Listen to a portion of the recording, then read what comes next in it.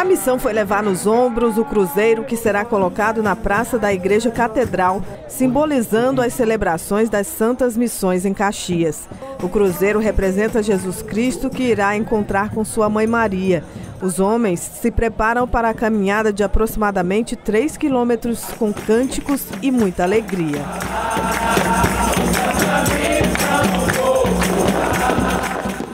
Que é o momento da implantação do cruzeiro com essas duas grandes caminhadas.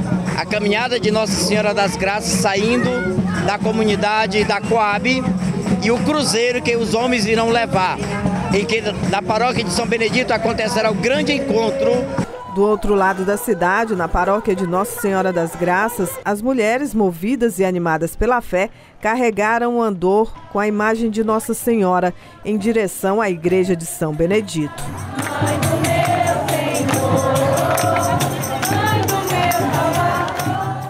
Ah, muita felicidade, né? Muita paz, amor, harmonia grande, né? Tudo é tudo, né? No fim da tarde, homens e mulheres simbolizaram o encontro de Jesus e Maria. Um momento de muita emoção para os fiéis presentes na Praça Vespasiano Ramos, em frente à Igreja de São Benedito. Até aqui foi completada apenas uma etapa da jornada. Virgem Maria, companheira das mulheres das missões populares e ela tem esse objetivo mesmo, mexer com as pessoas, trabalhar com as pessoas dentro das, das três finalidades que é mexer a pessoa para que ela possa se dar conta da sua realidade e também da sua vida diante do mundo e diante do projeto de Deus, trabalhar a igreja, a comunidade e se abrir também para essa realidade social, o que nós também fizemos. O prefeito Fábio Gentil também participou das celebrações das Santas Missões.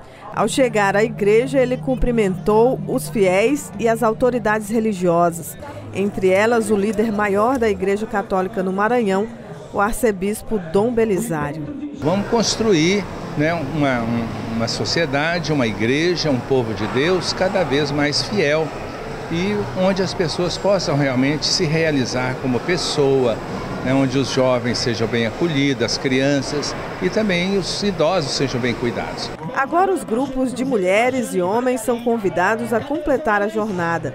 Elas com a imagem de Nossa Senhora. Eles com o cruzeiro de madeira seguem em direção à Catedral de Nossa Senhora dos Remédios. Dessa vez o grupo de homens é liderado pelo prefeito Fábio Gentil. Ele faz o trajeto também carregando o cruzeiro. Quem vai, quem vai, eu vou, eu vou, eu vou. Um momento como esse, que todos os católicos estão aqui nessa manifestação cristã, dá uma demonstração de compromisso com a religiosidade e, consequentemente, um compromisso com a cidade. Estamos aqui, de certa forma, mostrando o quanto nós somos crentes, o quanto nós acreditamos em Deus e aí participando de uma forma afetiva, carinhosa e amorosa com todos aqueles que vieram para Caxias participar dessa, dessas santas missões. Agora, o destino final. Antes da instalação do cruzeiro, foi realizada uma celebração.